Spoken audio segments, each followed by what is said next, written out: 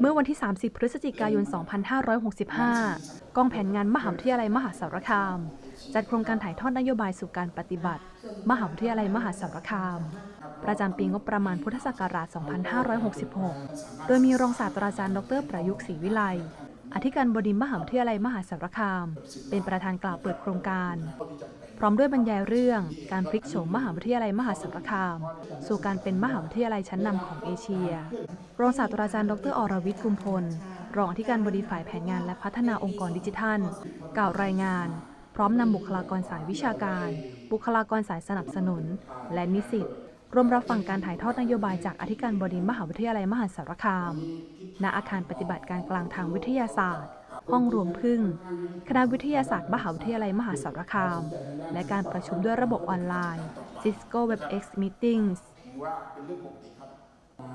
ครงการถ่ายทอดนโยบายสู่การปฏิบัติมหาวิทยาลัยมหาสารคาม ประจำปีงบประมาณพุทธศักราช 2566 จัดขึ้นเพื่อให้ผู้บริหารและบุคลากรมหาวิทยาลัยมหาสารคาม รับรู้และเข้าใจนโยบาย รวมถึงแนวทางการพัฒนามหาวิทยาลัยมหาสารคาม สู่การเป็นมหาวิทยาลัยชั้นนำของเอเชีย มีผู้เข้าร่วมโครงการประกอบด้วย ผู้บริหารบุคลากรและนิสิต เข้าฟังทั้งแบบออนไซต์และออนไลน์ โดยมหาวิทยาลัยมหาสารคาม มียุทธศาสตร์ในการพัฒนามหาวิทยาลัย เพื่อขับเคลื่อน การเป็นมหาวิทยาลัยชั้นนำของเอเชีย 5 ยุทธศาสตร์ได้แก่ ผลิตบัณฑิตตรงตามความต้องการของสังคมโลก สร้างงานวิจัยและนวัตกรรม เพื่อความเป็นเลิศในระดับนานาชาติ ให้บริการวิชาการตอบสนองความต้องการ ภาคอุตสาหกรรม และภาคประชาสังคมทำนุบำรุงศิลปวัฒนธรรมอีสาน ให้มีความโดดเด่นระดับนานาชาติ และบริหารองค์กรเพื่อความเป็นมหาวิทยาลัยอัจฉริยะ และจากการดำเนินงานตามแผนพัฒนามหาวิทยาลัยในปีที่ผ่านมา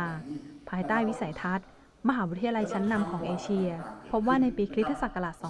2022 มหาวิทยาลัยมหาสารคาม สามารถขับเคลื่อนและพัฒนามหาวิทยาลัย จนเป็นที่ยอมรับระดับชาติและระดับนานาชาติ โดยได้รับการจัดอันดับจากแหล่งจัดอันดับในระดับสากลต่างๆ จากนั้นอธิการบดีมหาวิทยาลัยมหาสารคาม แสดงเจตจำนงสุจริตในการบริการ พร้อมนำผู้บริหารและบุคลากร ร่วมแสดงสัญลักษณ์ต่อต้านการคอร์รัปชัน โดยตระหนักถึงการปลูกฝังค่านิยม คุณธรรม จริยธรรม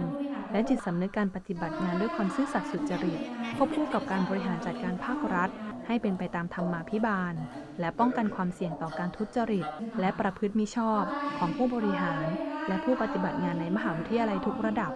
กิจกรรมในช่วงท้ายจัดพิธีมอบรางวัล การปฏิบัติราชการตามคำรับรอง การปฏิบัติราชการ